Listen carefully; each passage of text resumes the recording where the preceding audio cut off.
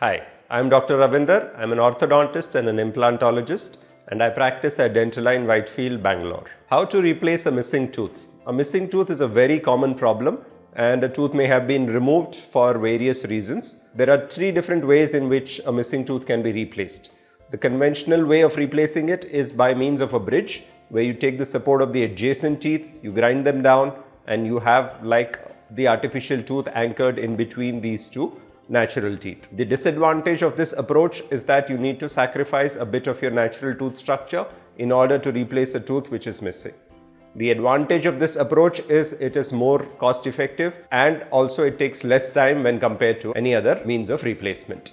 Typically in about a week to 10 days time, you can have the replacement kind of fixed in your mouth. Better way of replacing a missing tooth is by means of an implant. An implant is the process where a titanium or a zirconia insert is placed into the jawbone and allowed to integrate with the bone. You wait for a period of about 2 to 3 months and then the tooth is fixed on top of that particular implant. The advantage of this approach is that you do not disturb the natural teeth. The second advantage is the root as well as the crown or the visible part of the tooth is replaced and also that it is integrated on a deeper level when compared to a bridge.